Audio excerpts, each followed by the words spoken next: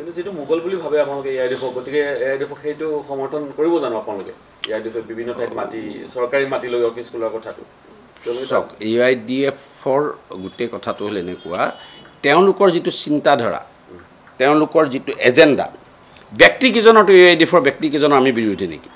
কিন্তু A I D এফৰ যিখ যিটো অসমখনক গ্ৰাস কৰা যি পৰিকল্পনা এখন ম্যাৰ ৰাজ্য কৰাৰ যি পৰিকল্পনা সেই সেই তেওঁলোকৰ ব্যৱস্থাটোৰহে আমি বিৰোধিতা কৰোঁ। কিন্তু যিটো মোগল বুলি ভাবে আপোনালোকে এ আই ডি এফক গতিকে এ আই ডি এফক সেইটো সমৰ্থন কৰিব জানো আপোনালোকে? এ আই ডি এফে বিভিন্ন ঠাইত মাটি চৰকাৰী মাটি লৈ অফিচ খোলাৰ কথাটো। চাওক এ আই ডি এফৰ গোটেই কথাটো হ'ল এনেকুৱা তেওঁলোকৰ যিটো চিন্তাধাৰা তেওঁলোকৰ যিটো এজেণ্ডা ব্যক্তিকেইজনৰতো এ আই ডি এফৰ ব্যক্তিকেইজনৰ আমি বিৰোধী নেকি? কিন্তু এ আই ডি এফৰ যিখ যিটো অসমখনক গ্ৰাস কৰাৰ যি পৰিকল্পনা এখন ম্যাৰ ৰাজ্য কৰাৰ যি পৰিকল্পনা সেই সেই তেওঁলোকৰ ব্যৱস্থাটোৰহে আমি বিৰোধিতা কৰোঁ। কিন্তু যিটো মোগল বুলি ভাবে আপোনালোকে এ আই ডি এফক গতিকে এ আই ডি এফক সেইটো সমৰ্থন কৰিব জানো আপোনালোকে? এ আই ডি এফে বিভিন্ন ঠাইত মাটি চৰকাৰী মাটি লৈ অফিচ খোলাৰ কথাটো।